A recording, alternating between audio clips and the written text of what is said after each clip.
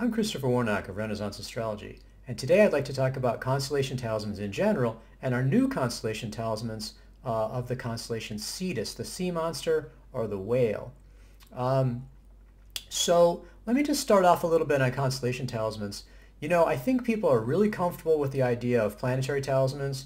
They have sort of a sense of, you know, what the energy of the sun may be like, energy of Jupiter would be like, what the spirit of those planets, you know, what, what kind of effects they might get. Um, obviously, there's a lot to, to uh, learn about that, but we have really extensive lists of planetary rulerships in our traditional sources. Plus, you know, again, I think people are getting more and more familiar with astrology and then more and more a sense of what each of the planets' personalities are like. Uh, because I like to approach the, the, the, astrological factors really as, as persons, as personalities. Um, so I think, though, increasingly in the astrological you know, magic community, people are becoming more and more comfortable with fixed stars. Now, in the traditional geocentric uh, astronomy that's used in traditional astrology, you have the seven spheres of the planets, with the lowest sphere being the moon. So everything on Earth in the material plane is called the sublunary realm under the under the moon. And then there's seven spheres um, higher and higher and higher to get to Saturn, which is the highest, the seventh sphere. Now above that, uh, sphere of the planets um, of Saturn is the, depending on how it's conceptualized, it could be just one uh, sphere of the fixed stars or then the fixed stars plus the zodiac. But that next higher sphere is of the fixed stars.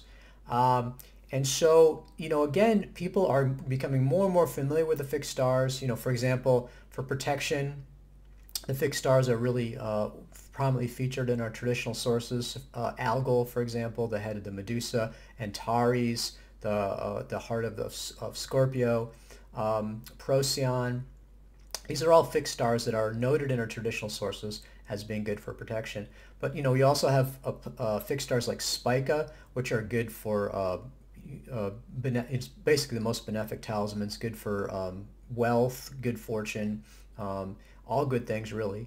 Um, uh, you know, uh, health like Capella, really a whole variety of different possible things that you can you can find with the, the fixed stars. Now our main source for the fixed stars is a manuscript called Hermes on the 15 fixed stars um, rather than Picatrix, which is our typical uh, you know astrological grimoire for, for many purposes.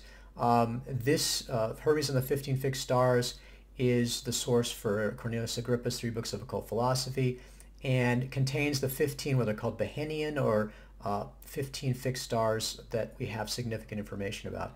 And what's nice about this source is it gives us a sigil, it gives us an image, it gives us the effects of the, the fixed star talisman, it gives us the rulership of the fixed star, um, and gives really enough information to be able to interact with the spirit and to create the talisman. Now, my view is that every single fixed star, and there's about a thousand fixed stars uh, that are visible, uh, has a spirit and could potentially be invoked and used in a talisman. We just don't know enough about them. So that's sort of, you know, one of the quests. One of the things that I've done, probably the one of the, uh, the, the, few little pieces of original work that I've done is uh, this fixed star Fomalhaut, which is, you know, something that's important in my chart um, and my natal chart and uh, a, a fixed star that I've worked with and sort of extended, um, you know, my, my work to include that.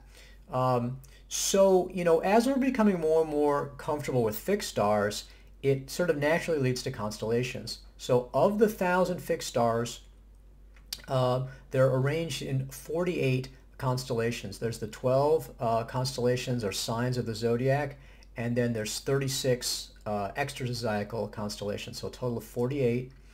And um, these uh, extra-zodiacal constellations um, are maybe less familiar with, than the signs, but nevertheless they're similar and that each of the constellations is made up of multiple fixed stars and it has an image or has an animal or picture or person or whatever that goes along with it and, and, and often a lot of mythology that's uh, grown up around this particular constellation. So my practice is to work with the constellations in a talismanic way, uh, very similar to how I work with fixed stars. Um, so we have a little less information about them. We don't have as much information on the sigil. We can kind of uh, substitute the um, shape of the constellation as a sigil. Um, and uh, that's something we will be seeing with uh, as we look at, at Cetus. Um, then what I do is, for the fixed star, it's relatively easy because the fixed stars, even though they're in a 360 degree sphere of the heavens, are projected in traditional astrology onto the ecliptic and then are precessed according to the precession of the equinoxes. So the apparent you know, uh, location of that fixed star it's focused on, or rather it's projected on the ecliptic, changes about one degree every 72 years. So obviously if you're out in space doing a heliocentric view, that would be different. But in the geocentric perspective that we're using, it's perfectly accurate. It's certainly exactly as you see it from the, from the Earth. Um, so, uh, but that's the perspective that we're using. And so uh, for a fixed star, this is relatively easy because you have, uh, you know, a degree even to the minute um, where you can, usually to degree is sufficient where you can have it rising. For example, Algol's at 26 Taurus. So what you want to do is put 26 Taurus with Algol either rising um, on the eastern horizon or directly overhead at the midheaven. And that's the typical placement. And then you would have the moon applying, um, the best is a conjunction, but it's also perfectly fine to have the moon applying to either a trine or sextile. And then you don't want to have the fixed star, or the moon afflicted. Um, which is relatively simple unless you have a, the south node, for example, sitting right on top of the fixed star or say, you know, a retrograde planet or a planet in fall or detriment or something like that, then there's really not much that afflicts them. I don't afflict them by, um, uh, you know, other aspects like squares or oppositions, uh, so that's not problematic in the, in the methodology that I'm using. So when we do a, a constellation talisman, we sort of follow on from the fixed star example, and but the problem then is, okay, wh what do we have rising or culminating? Because these constellations, uh, a fixed star is, you know, going to be very small in terms of, you know, looking at degrees. But a constellation can be very, very large. In fact, Cetus, that we're going to talk about later, is an extremely large constellation. It's the fourth largest of all the constellations. So my practice is to go ahead and pick a marker star. And so I look for a fixed star in the constellation that's, you know, more or less halfway through in the middle of the constellation and then I have that fixed star rising or culminating. Now, um, again, this doesn't come from a traditional source. It just seems like a logical thing to do because we want to have, our traditional sources do say to have that, that constellation rising or, or culminating.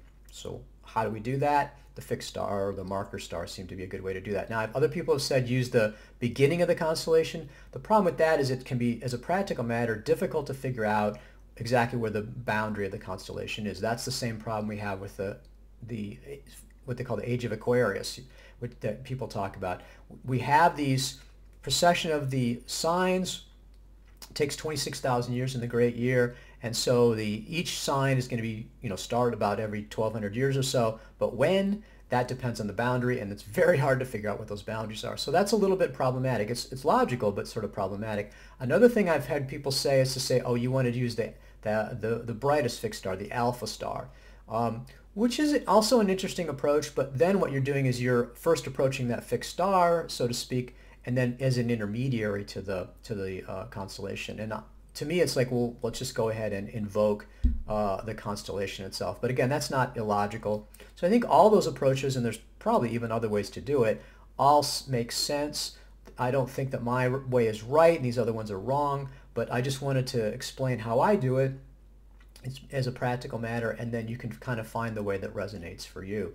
So um, today I'm going to be talking about a brand new uh, fixed star talisman. This is the first time we've ever done this in bronze. I did previously do some in, uh, uh, etched mirrors, which were very interesting, but this is the first time we've actually had these widely available. This is Cetus, which is Latin for whale, but uh, is often seen as a sea monster.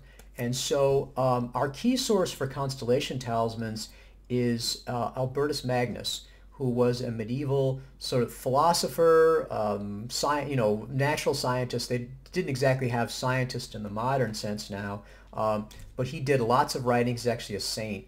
And he wrote a book called De Mineralibus on stones. And then as part of this, he sort of summarized the talismanic use of many uh, constellations. Um, probably uh, his sources were what are called lapidaries, which are books that explain the properties of various um, types of stones and gems.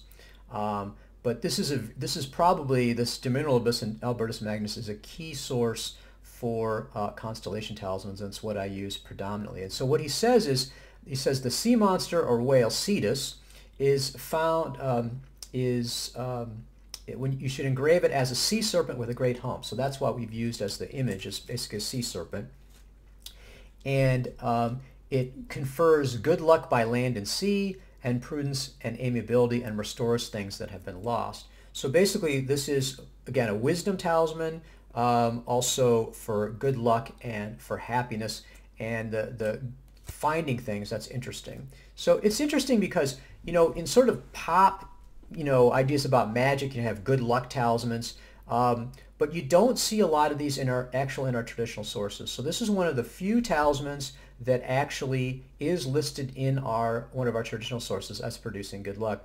And I, I remember in um, uh, when we did the uh, etched mirrors and we you know had I think we had a, one of those uh, situations where I, I, gave out the election and other people were making it. So we had sort of a group uh, use of the talisman that there were people that were coming back and talking about finding things. So that was interesting. There were actually were I think a report or two about finding lost things and also um, we had a, a lot of positive feedback, I think, in, in as the, the good luck.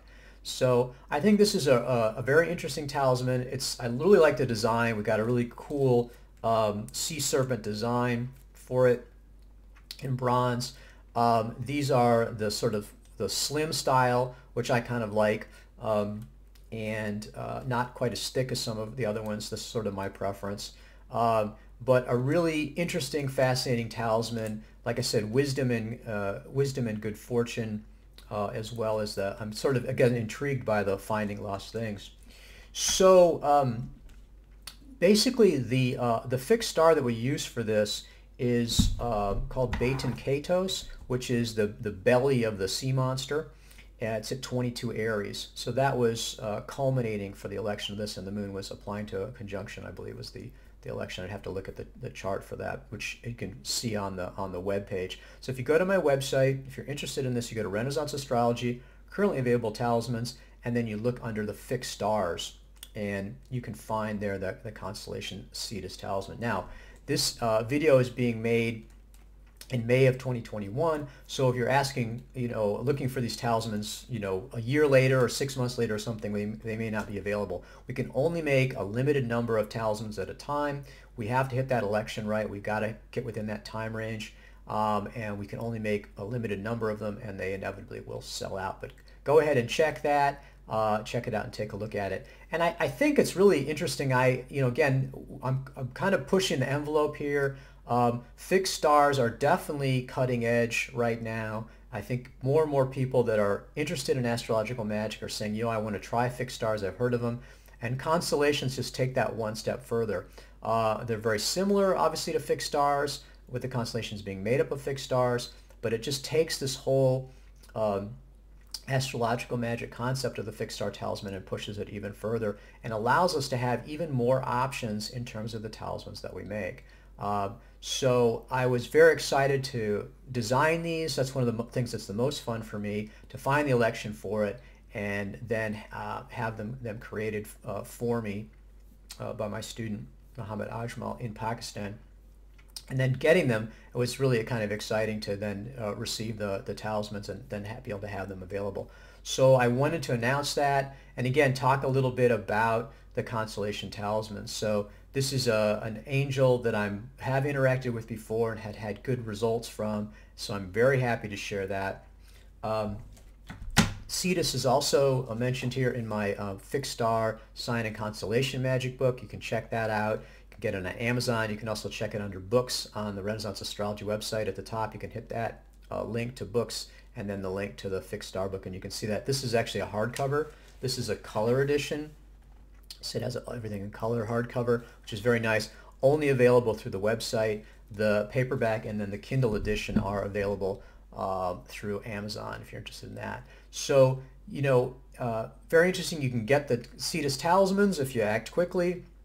But also, I really am excited about sharing uh, my experiences with uh, with Constellation talismans, pushing that envelope and making these available to people and also getting people uh, turned on to the idea of making these talismans themselves and working with these um, with these uh, astrological spirits.